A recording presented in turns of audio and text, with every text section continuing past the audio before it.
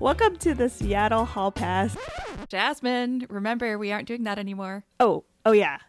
So, should we reveal to them our new intro and name? Okay, let's do it.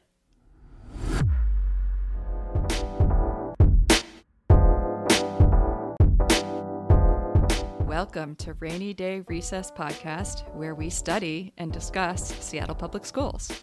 Why rainy day recess? Because when those gray Seattle skies keep you indoors, we hope you'll spend some time with us, diving into what's really happening in your school district. You might know me and Jasmine from Seattle Hall Pass, which sadly is no more. We're even sadder to say goodbye to our co host, Jane Tunks Demel, who is a passionate and informed advocate for Seattle Public Schools. We can't wait to see what she does next. But we are moving on, and Jasmine and I hope to continue the work you've told us matters most. In our next chapter, here at Rainy Day Recess, we'll make what's happening in the district accessible and understandable by those most impacted by its decisions. Our goal is to empower our listeners with information so that you can have a say in what affects you.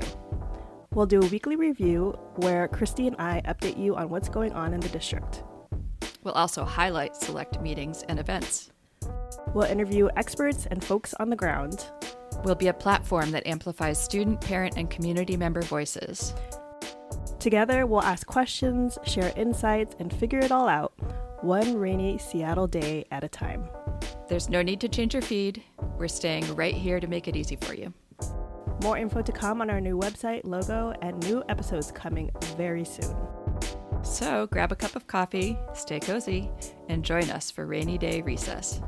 Because understanding your school district starts here.